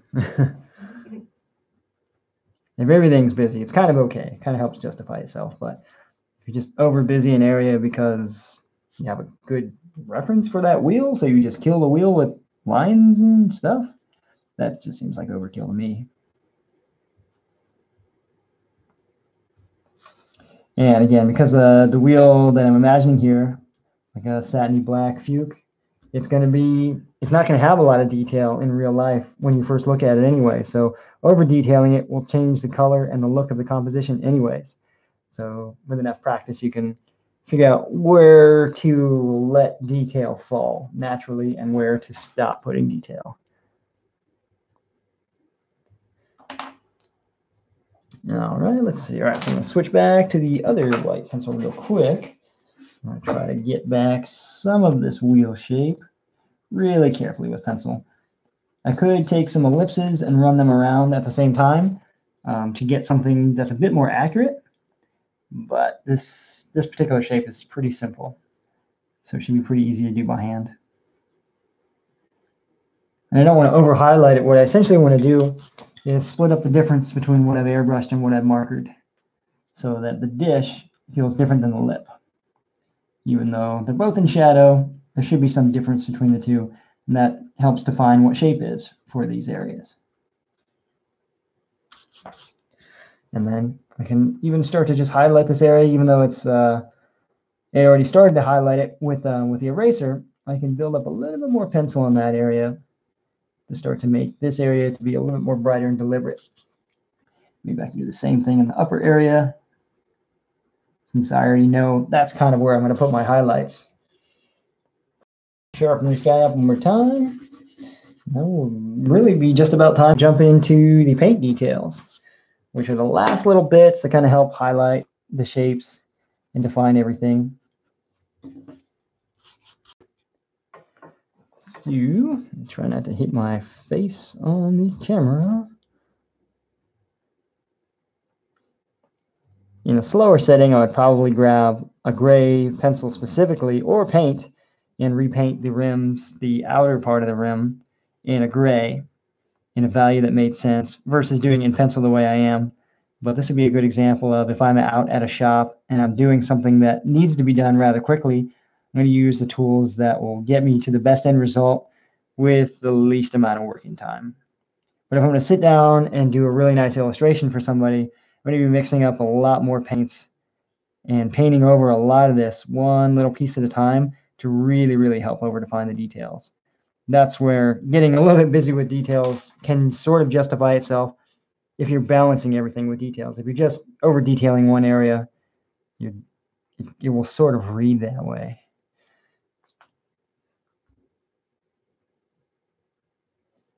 But uh, inherently, because pencil has a little bit of graininess to it, on some of the stuff that I want to slow down and do better details with, I'll maybe I'll do all this in pencil and I'll still come back over with paint to um, to smooth it out. But all about the end result that you're after and how much time that you have to spend on something. And I'm just starting to plot the highlights that I know I'm going to put in towards the end, which we are nearing. I want to have just a little bit of highlight on the tire, or at least I want to test drive the look of a highlight on the tire. I can change my mind a little bit and pull it back with some eraser. But again, even though that kind of breaks the rules of where the light is, I want to help split up some of these areas that I've more or less deliberately buried with ink and paint. And I think it can make for a nice detail.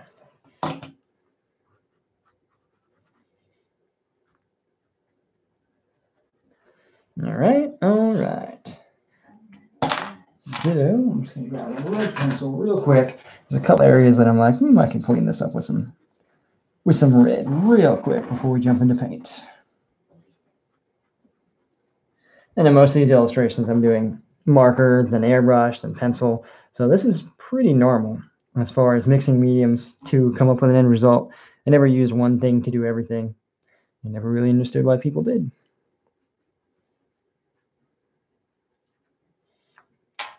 All right. So we're in a good spot. Cool. Yeah, just kind of looking at everything, make sure everything's balanced, at least for the look that I'm after. You know, I might just hit a little highlight in this tire area here, just teensy tiny.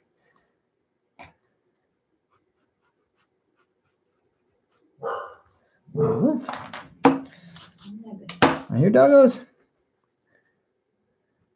They want us to come out. I know. We're getting there. So close. All right. They're excited. So excited. I wonder if they see friends outside. Maybe. Doggo friends? Dog friends. There we go. I don't know, what do you know? Doggers are getting excited. Don't know. I'm just going to correct a couple of these edges before I get into paint so that I don't have to paint correct them. I can just kind of work them in this way that I've already got the tool in my hand essentially. So I'm just going to go ahead for it. All right. So got a really good balance of everything so far. The next thing I'm going to do is I'm going to grab the paint. So I'm going to use white paint to do some of these highlights and wrap this guy up. And I always say that and go, oh, wait, there's an area there. Oh, wait, there's an area there pretty easy to, to get carried away with these and just kind of go forever. But that's exactly what I'm doing. All right. All right. So at the same time that I'm getting ready for the next stage, I'm also going to clear off my desk of pencils and markers so that I can just focus on the very last tool. One last thing that I'm going to do. So I'm going to move all this stuff over to a different desk. Thing, except that thing. Again, just kind of look at everything evaluate, make sure it's all going well enough. Which I think it's going really good, actually. So, yeah, so now I'm going to mix up some paint. And see what I do say. Oh, that one I'm. A lot of times for stuff like this, I'll use the uh, whole, or yeah, these are whole paint Acryla Gouache. Just like the way that they work for the process, especially for the finished work. It just adds a really nice polished look to what I'm after. So I'm gonna mix up the paint a little bit. I'm gonna grab a little cup, add some water, break out some brushes, and start doing these last little bits of detail. And this is something I would definitely consider in the realm of pretty quick. We're an hour and 30 in, and I'm down to final highlights, which is nice. If I was going to spend all day on a rendering, and sometimes I do, you know, there's masking, there's a lot more paint work to the finish. Um, but I think this works as a really good demo example of something we can accomplish pretty quickly. So, let's see, I got a cup of water here that I'm going to carefully try not to spill all over the place. Yes, please don't. That's not enough water. Now let's go and put this guy down.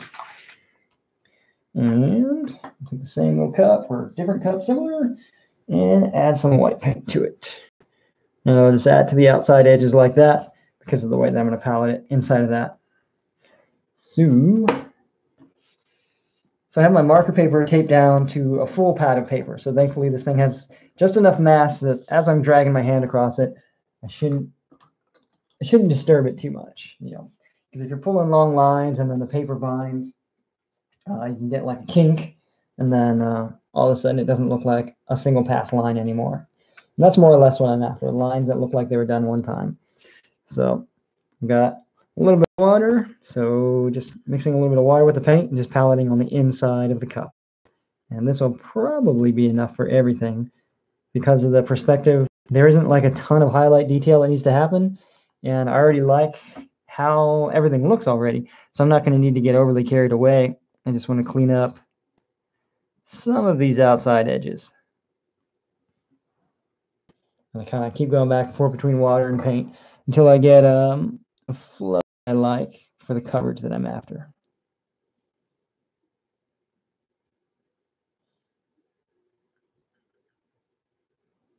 And you can too. Of why I like don't mind the overspray on the outside edge because when I'm doing this final outline highlight, it makes that edge look a little bit firmer and a little bit brighter than if I just masked everything. It's a different look, but you know, to each their own.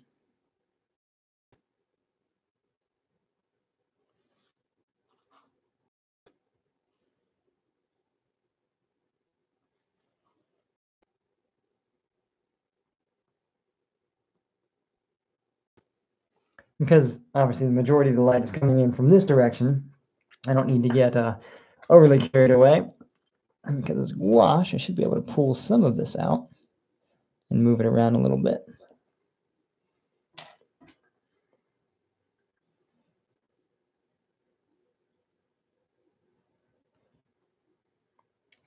All right, let's see what else. There aren't going to be a ton of heavy highlights on this one. Did a pretty good job deliberately going around everything with pencil. There's a few things that I want to define a little bit harder. Some, for me, it's a little bit easier.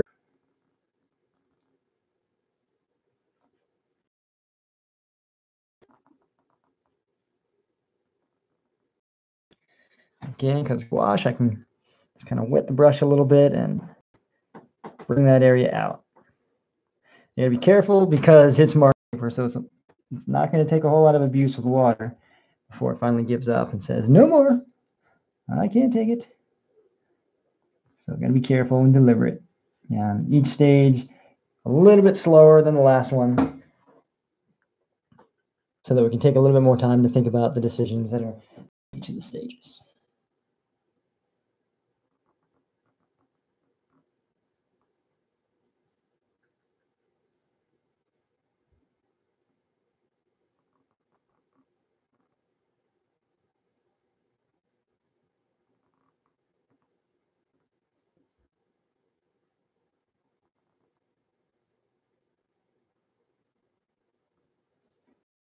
Up a type of detail. Again, I don't necessarily want to run over every single line that I've done. In some cases I will, and it'll seem like, why are we redoing that area? I already did it. Because um, the whole thing to me is a bit of a balancing act.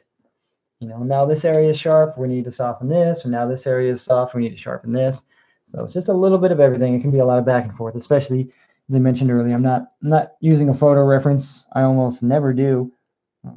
In terms of lighting, I never do because I'm not just going to reproduce what lighting looks like from somebody else's photo for a million different reasons.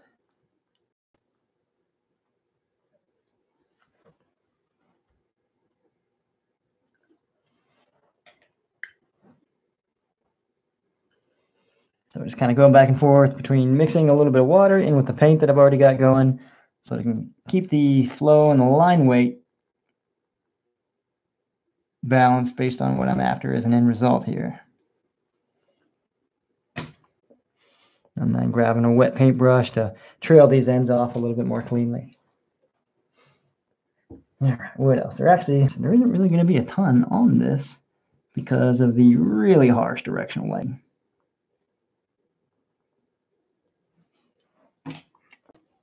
but I'm going to overemphasize some areas just for the sake of being illustrative.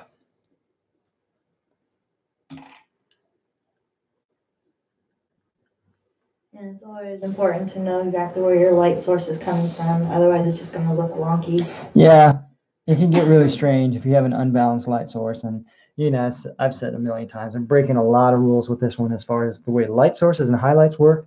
But um, with good knowledge of the fundamentals and the rules, you can figure out how to break them better. But that's one huge reason I don't usually ever rely on somebody else's photos as a as a way to shape light source because somebody's taking photos outside or or something like that where there's a million different light sources. And to me it seems really obvious, but to somebody else it might seem fine. And that type of over detail is a little bit aggravating to me so I don't do it. All right.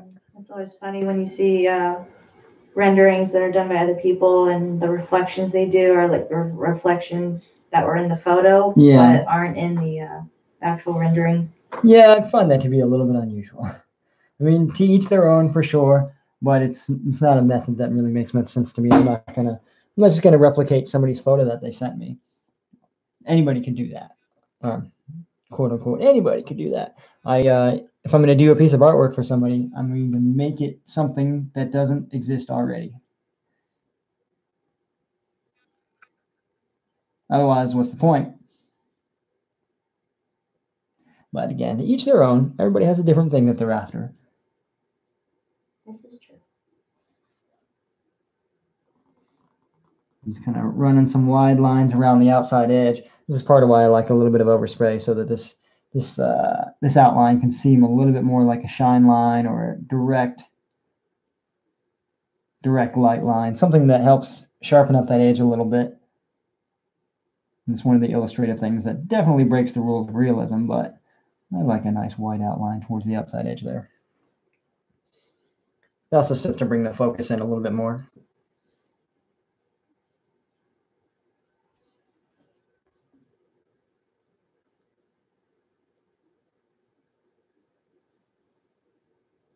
And in most circumstances, I probably would have gotten a little bit lighter on my pen sketch. So, because there's a lot of it showing through. Thankfully, this color, everything kind of worked out so it doesn't look terrible together. Win some, lose some for sure. But um, normally I'd probably go a little bit lighter on it so I didn't have so much of the show through. But in a demo, I want to make sure I've got a really bold outline so you guys can kind of see what I started with and what I finished with.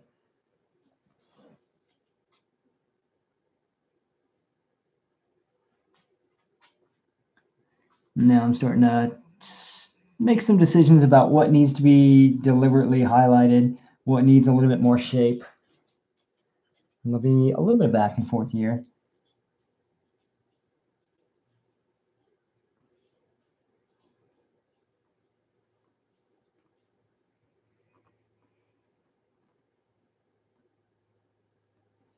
But certainly nearing the end stages as well. The highlights to me are usually the very, very last thing, which sort of makes sense. They should stand out above everything. Yeah. But I've certainly seen other artists that work in, in different ways and that, that makes sense to them. But this is definitely the way, the order of things that makes sense to me. So I think I mentioned earlier that I put a lot of gray down and allowed a lot of air, overspray into the headlight areas specifically so that I can paint in some highlights so it could create some contrast. Paper is already naturally white, so putting white highlights over paper really isn't going to show very much. So you need some level of contrast. So maybe slightly putting too much tone or a little bit more value than is necessary will create these areas where there's possibility to create a little bit more highlight and it looks a little bit more dramatic. All right, it's kind of looking at everything, evaluating, seeing what needs what. Everything's looking really good. There's only a few areas that I'm even going to add anything to. make sure my shapes aren't getting out of control. Um, yeah, so I'm going to take and start doing a couple of little highlights just because of the size brush I already have in my hand.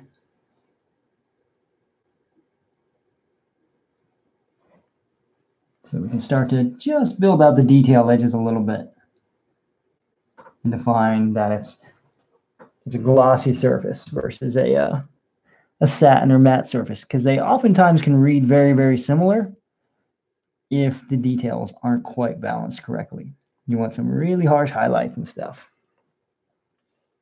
especially in the case of something that's glossy. All right, let's see. So I'm just kind of looking around evaluating what needs what, because this one actually balanced really, really good and clean without the need to jump around a whole lot, which is nice. It's going to make this last stage a lot faster. But some some go faster and some don't. That's okay.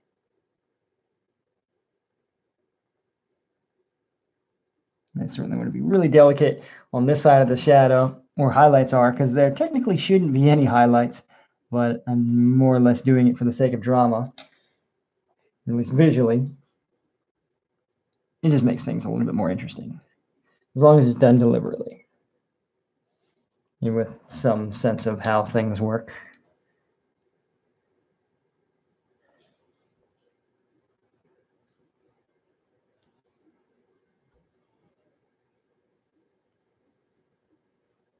Yeah, yeah. -hmm. All right, so now I just have a couple little detail areas in the wheels before I break into the last detail pen uh, paint brush. just thinning down the paint a little bit more to get the um, to get the edge just a little bit firmer here.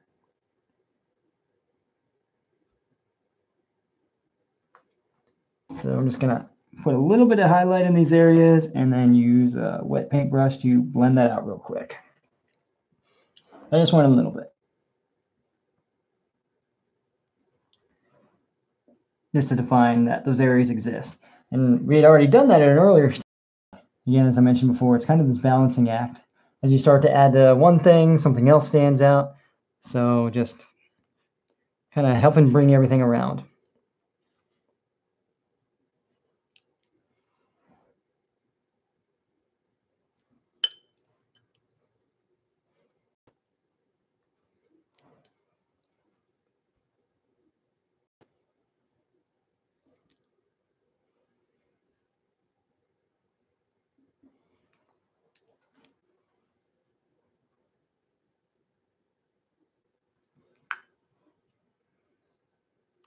Just going back and forth between paintbrushes here. And that's probably good for those areas. I'm going to run the wheel rim just a little bit with some really, really thinned out paint just to help those stand out a little bit more. I'm trying to think of other things to talk to you about.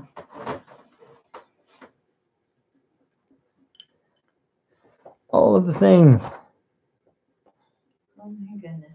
What happened? No, just my brain. it's all right. It's been a long weekend. Uh, just just a late night. Yeah. I don't like working that way. had a really nice drive back last night, although it was late. It was a nice drive. It's, not, it's unusual video on a Sunday, anyways. This is true. It seems like it would be normal, but it's not. It's totally not. I would be drawing or painting no matter what, so this doesn't like this isn't unusual. We wouldn't try to set up for something so deliberately on a weekend, though. I'm sorry. Would it be better to to do stuff during the week? Do you think? Yeah, it's really hard to say. I think we had to put that one to a vote. Yeah. I would think for other people to, to watch, it will be easier during the weekend since people are home, but you know, we'll have to ask other people what they think. I'm Wondering if a lot of people, if they like would look during their work week, like they just need something on the background, Yeah, or um, or if they're like us and they just do all their YouTubing at night, just, just to catch up on everything. it's possible. Oh, my doggies. We're almost done here, so Yeah, they just want attention. They they don't like being left out.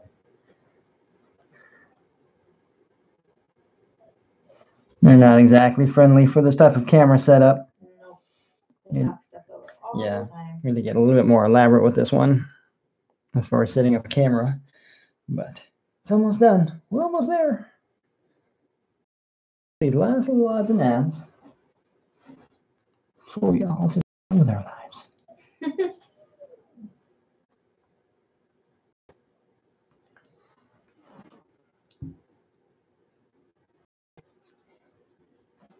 All right. Yeah, we don't really need too much in there, so there's just going to be a couple little details, and I'm just going to over wet some of this paint because even just really, really reduced white paint is still going to give way more of a highlight with very little effort.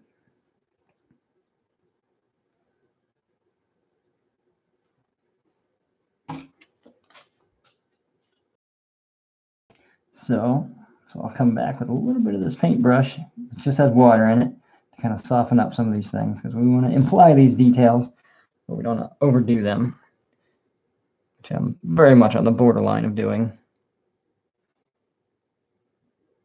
Yeah, I think that works for that. Kind of pull back a little bit of what I have here. A little bit of pencil. There we go. That works. I'll take it. All right, and then so I'm gonna clean out this brush, and I just have one more that I'm gonna use for some of these big final highlights. And then we're done. It's so pretty. Yeah, it's so pretty. I hope it looks cool on the uh, on uh, what you're looking at. It looks pretty cool from here, but it stuff always looks so different than I think that it would.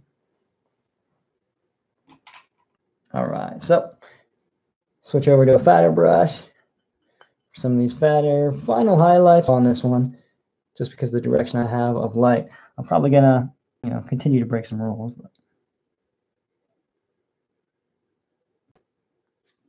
But but that's because that's how I roll. You're. So rebellious.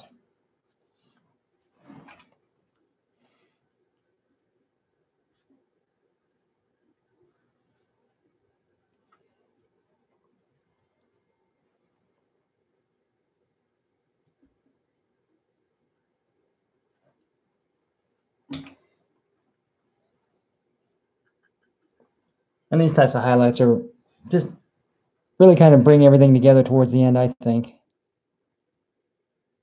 Because everything starts out pretty soft and then things are going to get a little bit sharper back towards the end as we're outlining things and defining things a bit more. And also shows the the shine Yeah, of the vehicle. exactly, exactly. Very good point. 'Cause otherwise, it just looks flat and bland. Yeah.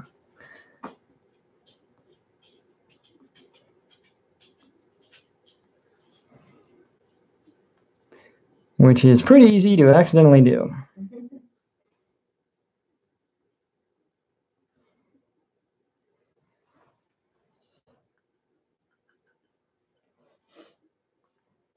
So I'm going to go over these arches just a little bit. That might not technically be accurate. Just want a little bit more harshness in the way that these are shaped.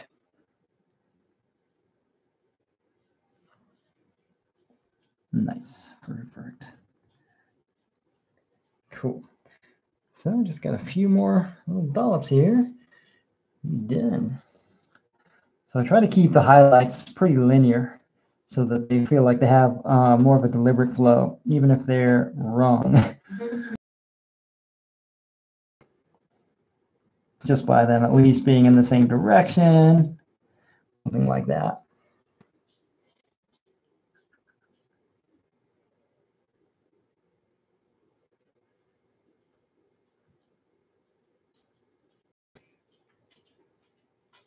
Hmm. What's up? Uh, Hector Carrera. I think I remember seeing him when we were on Facebook. Oh, yeah? It sounds familiar, and he says, "Wow."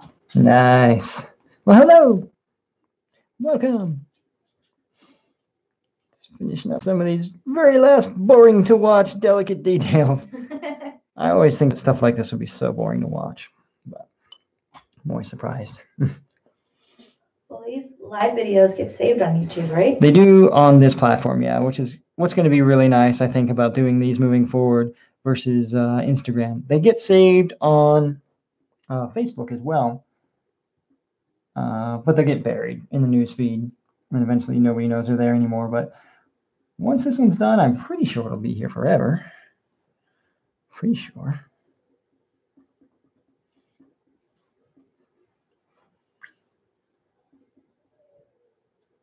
Oh, Lucy.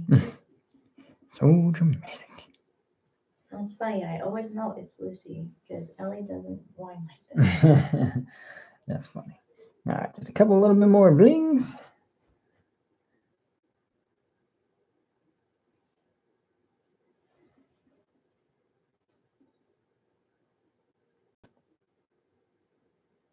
You're just about there. So make sure we have oh. enough. What's that? Oh. Almost we're so close. right there. Hang on. Whee. I need more coffee. Yeah, I'm ready for coffee. So sad. I'm gonna come over this pencil area a little bit with uh with paint. I have it reduced a lot with water, but just so I can kind of build that nice smooth area in there as opposed to a really harsh light highlight. Just kind of helps build everything. Dog is busy being incredibly dramatic right now. I'm dog dying. She can hear you when you're saying that. Nuh-uh. Uh-huh. Oh man. Whoops. And Hector says hi from Colombia, and Hello there. really, you are so clean with your sketches. Love it. Thank you very much.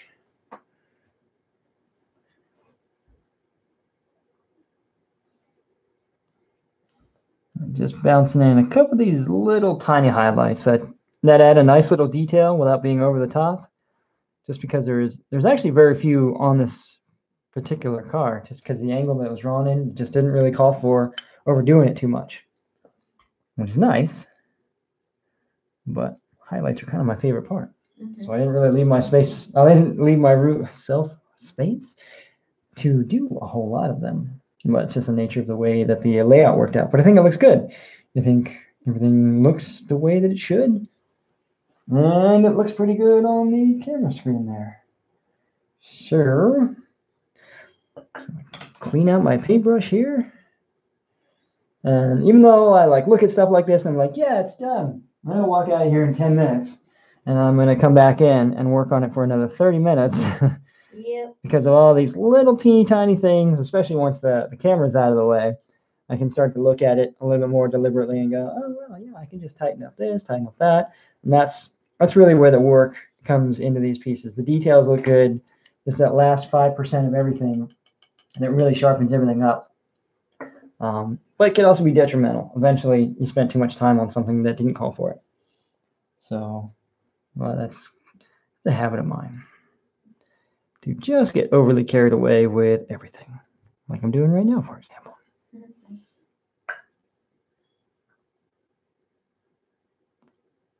Yeah, I'll say that some days where it's like, oh, it's a really simple thing. It shouldn't take me very long. And then I come home the end of the day and he's like, I put way too much time into it. That's most days. Yeah. I worked on this for way too long. Why did I think this was going to be simple? This thankfully was simple, even though we're closing in on two hours. It'd be a great stopping point, actually. Um, but I wanted to be able to show something all the way through. I didn't show the sketch phase, but I posted the sketch uh, a few days ago on social media, anyways. So I didn't think there'd be any reason to go backwards. But on the Instagram live videos, for example, it's exactly 60 minute window, and then it cuts off automatically, anyways. So I only get I either have to jam through something way too quick, or I only get to do part of a rendering. So this was really, really nice to be able to do all of it in a single sitting, even though it seems like it took a long time. Two hours actually, start to finish on something like this is not bad, especially for something that looks so cool. So I'm just gonna hit this uh, harsh highlight a little bit more since I'm here. I've already got the paint mixed up. I haven't stepped out of the room and changed my mind yet.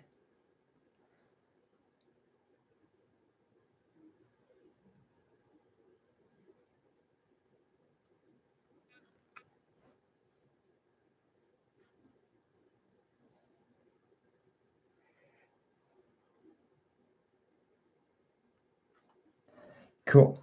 That's a nice little brim to that whole thing there, which is cool. I dig it. We're good, man. We're good. Yeah, I think I'm just gonna sign this one and move on. Oh wait, hang on. Hang on. Well, I just saw something. Yes, this is just this is what it's like to make artwork. Yeah, we're done. Oh, hang on. I said I was going to fix this little area here, and I forgot to do it. Wait for it. Hang on, I'm not 100% done ever. Wait for it. My dogs are definitely ready for me to be done. They, they want love. They do. And it is raining outside, so they can't even be outside. They can't even go outside like real dogs. Mhm. So sad. So sad. All right. So now I'm done again for the nowth time. Just gotta sign this guy. I just have to find the exact right type of pen that I would use, which is somewhere. Bear with me just a moment. While I look for the one true pen. Hey, where did it go? Where did I have? Uh, this is what I'm looking for. I just don't know if it's working. Okay. Hang on, hang on, Lucy. Daddy's almost done. Yep, almost done. There we go.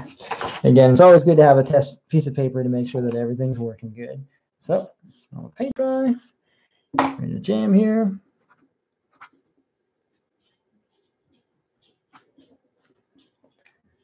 And so concludes our video. Thank you guys so much for jumping in and uh, and checking out the video. We're really excited to do more stuff on YouTube.